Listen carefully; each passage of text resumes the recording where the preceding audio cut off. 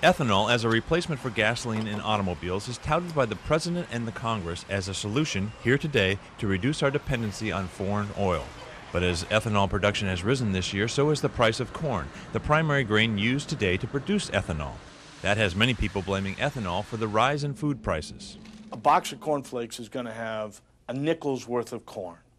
What impacts consumer food prices far more than the price of corn is the energy, the marketing, the packaging, everything else that goes into bringing that box of cornflakes to the grocery stores.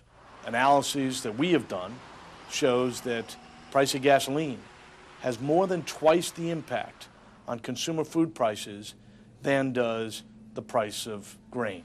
A bushel of number 2 yellow corn cost nearly twice as much as it did in 2005. Yet, in a Bureau of Labor Statistics sample of grocery items that include corn as a direct or indirect production element, the aggregate increase in price has been 3.4%, just one half percent over the 25 year average for food inflation.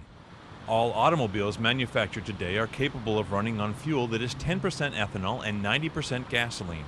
In addition, there are 6 million flex fuel vehicles on the road. Built primarily by Ford, Chrysler, and GM, flex fuel vehicles can run on up to 85% ethanol. It's very important to have flex fuel vehicles and have E85 ethanol to fuel those vehicles because it reduces dependence on petroleum, it reduces CO2 emissions, and reduces imported oil.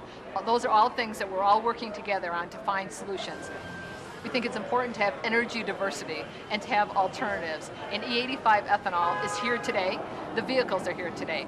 According to the National Corn Growers Association, farmers in the U.S. planted nearly 93 million acres of corn this spring, the most since World War II.